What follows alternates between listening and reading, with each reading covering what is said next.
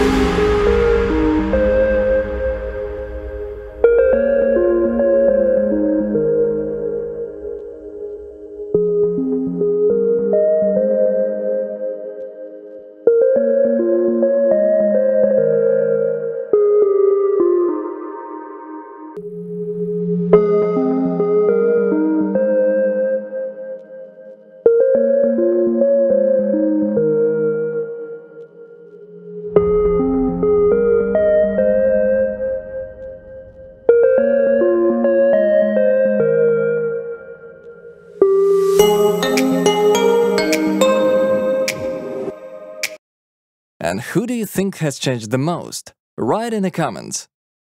If you liked the video, hit the like button and subscribe to the channel. See you again!